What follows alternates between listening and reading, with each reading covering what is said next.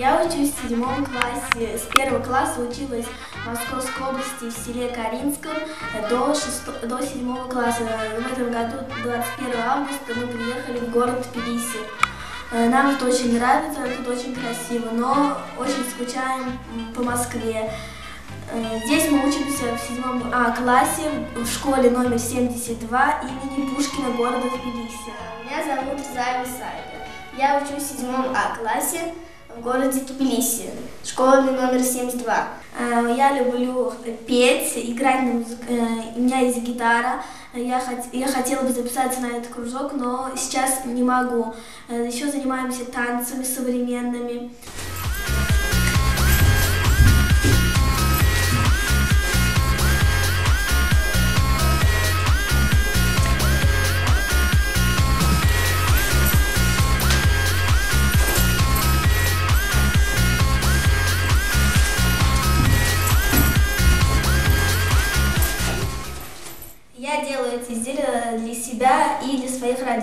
Родителей, дарю им. Э, Мне очень нравится вязать, это очень интересно, и бисером тоже. Э, Делаю всякие колье, браслеты, кольца. Мы их не продаем, так как делаем их только для себя и для своих близких. Мы считаем то, что мы делаем себе, мы ни в коем случае нельзя продавать. Каждый человек должен уметь что-то сам. А во втором классе после уроков ходили на группу продленного дня. И учительница Пасова Татьяна Викторовна научила нас вышивать. Я получала в Москве э, во втором э, э, похвальные листы за отличные успехи в учении, за второй, за третий, за четвертый классы, так как училась отлично. Училась я и моя сестра только, другие не учились хорошо. А эту грамоту я получила по конкурсу рисунков «Служу Отечеству». Мы рисовали там рисунок и заняли второе место. Это был сертификат по конкурсу русского языка. Э, Этот сертификат по конкурсу по математике. А это за отличные успехи в четвертом классе, а это за отличные успехи в третьем классе. Я получала почетную грамоту в пятом классе за первое место в конкурсе чтецов. Я рассказала стих Пушкина лучше всех, лучше всех и выиграла первое место среди в нашей школы. Еще я заняла э, в шестом классе тоже же первое место э, в этом же конкурсе чтецов. Это моя первая вышивка. Когда я научилась вышивать, я начала с нее. Первая наша работа это был вот этот олененок сестры моей и вот этот мой далматинец.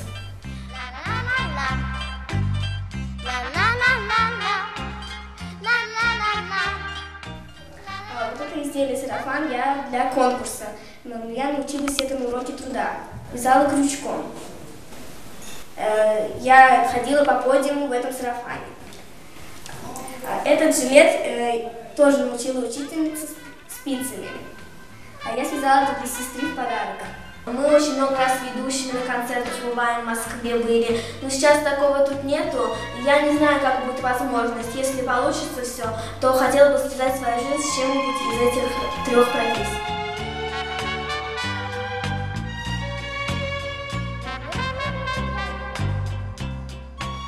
Эти три салфетки я делала на станке. Вязала на станке. Э, Подарок маме. Э, И помогала сестра.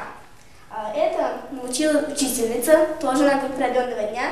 Э, То подарок маме 8 марта, день рождения, на разные праздники. Мне очень нравится английский язык, греческий язык, и я вообще очень люблю изучать языки. Мы изучаем в школе три языка – английский, немецкий и греческий. Мне очень нравятся эти три предмета, и еще я очень люблю историю и, конечно же, русский язык. Э, Я люблю очень искусство, музыку, ну и нравится там русский, литература. Они мне сшили машинку, вот эту. Нравится тебе? Да, нравится. Мы с сестрой очень хотели бы, это наша самая большая мечта, обучаться за границей э, в Англии или в Америке, так как там очень хорошие высшие учебные заведения, самые лучшие в мире. Очень хочется еще нам вдвоем путешествовать по Европе, по миру. Очень хочется увидеть много. Мы изучаем много языков и хотим, чтобы нам жизнь в дальнейшем пригодилась.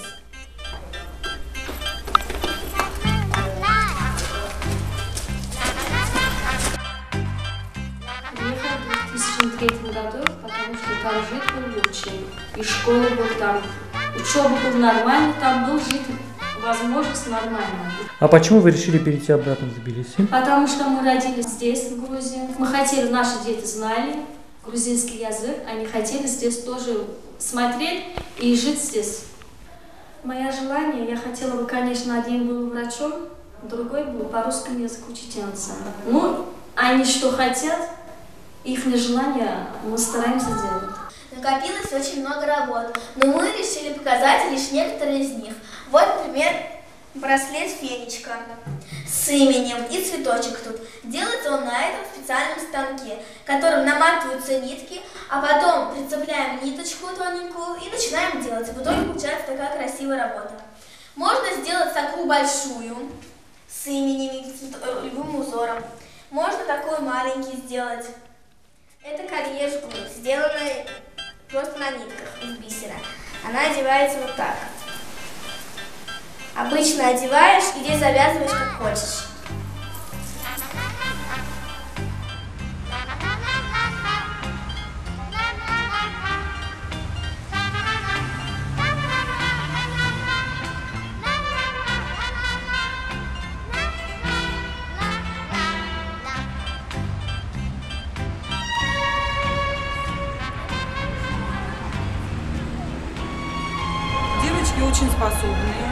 Они прекрасно занимаются, исполнительные, выполняют все свои поручения, которые получают в школе, очень старательные.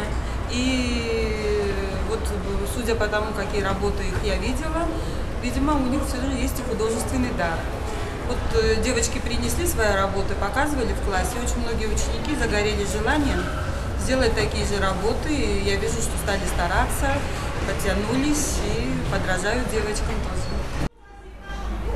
Посмотрите, какое чудо. Талантливый, безусловно, ребенок. Это самая работа. Или, скажем, вот она сделала э, для девичий браслет, да? Очень оригинальный и плетеный. Я сама из Питера, из Санкт-Петербурга. Вот э, эти дети у нас недавно, обе девочки недавно. Девочки скромные, девочки очень усидчивые в работе. Девочки, э, это, кстати, немаловажно, усидчивость в работе. И несмотря на то, что им сейчас э, немножко трудно приходится, мы работаем э, по учебнику, который написан на грузинском языке, они даже в этом проявляют интерес. Понимаете? Вот с этого начинается одаренность, с потребности узнать что-то. А в итоге это выливается в их творческих работах. Если я успею, если я поживу, хочу, чтобы очень сильно учили, учились и чтобы хорошее образование было.